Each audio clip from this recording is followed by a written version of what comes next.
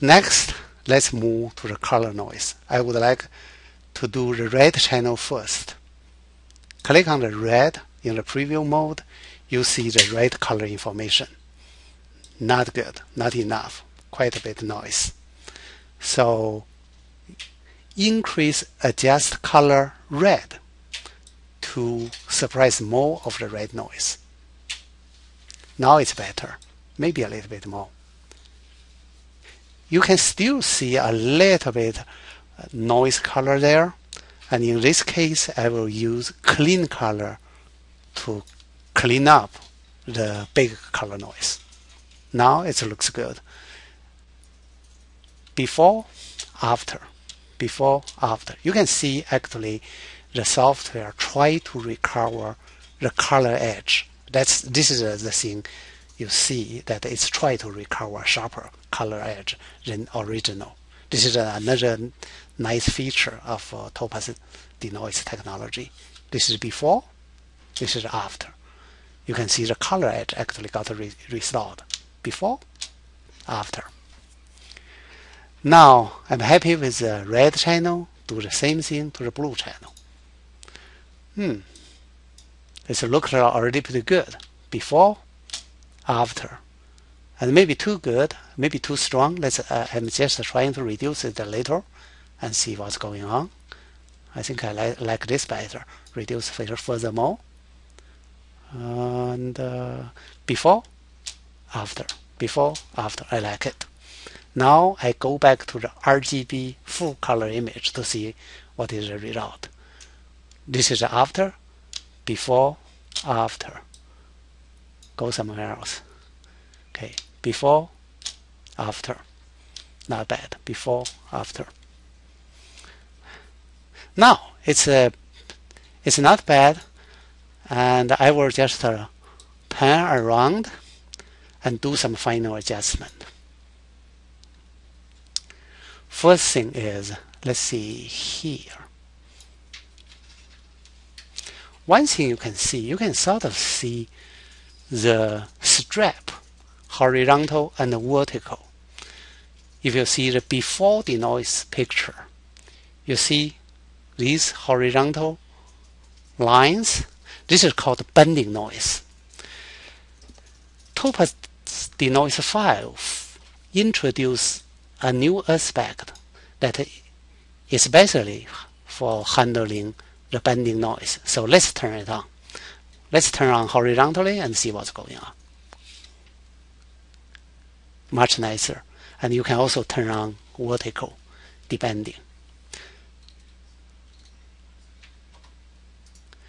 and uh, before after you can see the banding noise is almost gone another thing I would adjust in this case is called black level if you turn off the auto bright you already see the it's quite dark but if you turn it on you see this red hazy uh, haze cast color cast on the very dark background.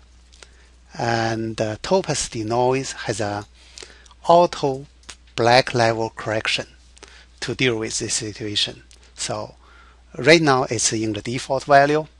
Let's say if we turn it off, you'll see much stronger haze, the red haze cast. And I would like to increase it a little bit.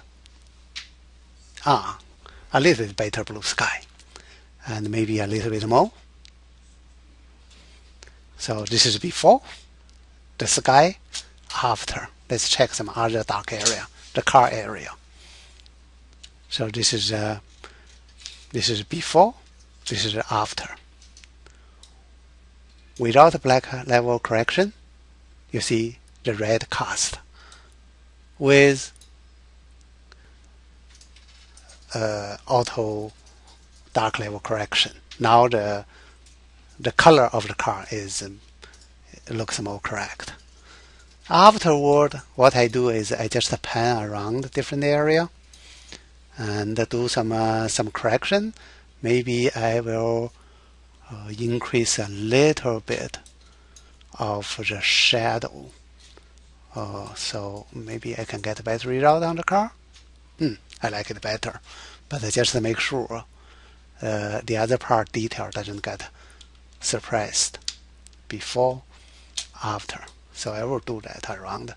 And now that's it. To recap, first you reset all slider to value to zero.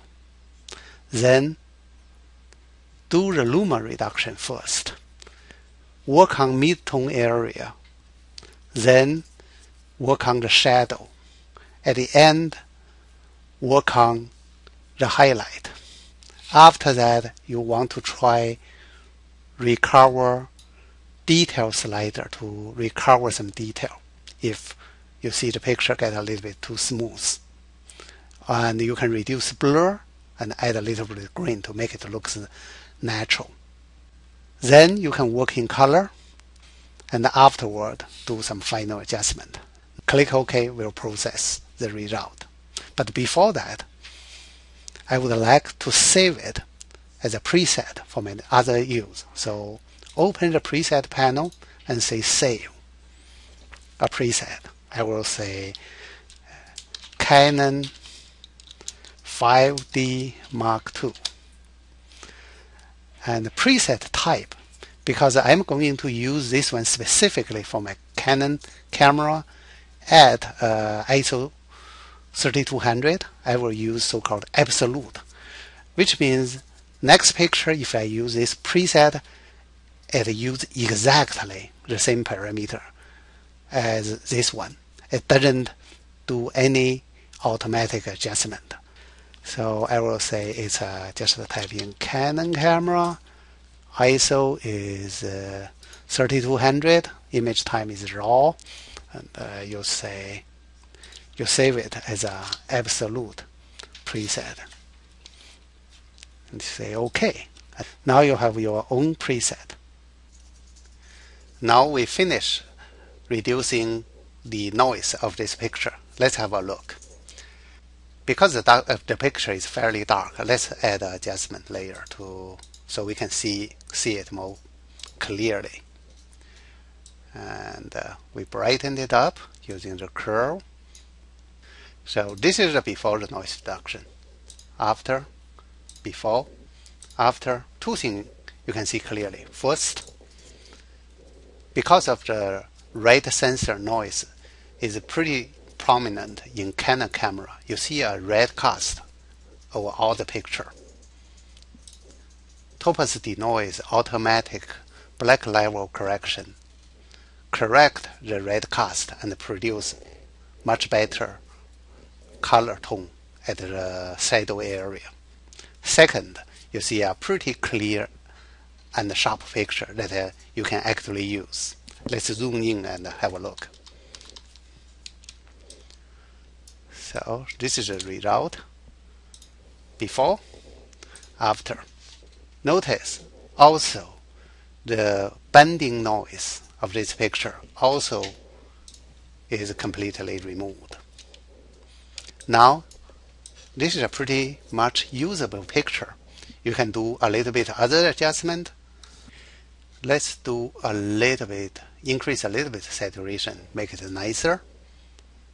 And that's it. You have a very nice night shot picture from this one before noise reduction. You can't use it to this one. I hope this tutorial gave you an overlook on how to use Topaz denoise 5. I am really looking forward for your comment and feedback. Thank you very much.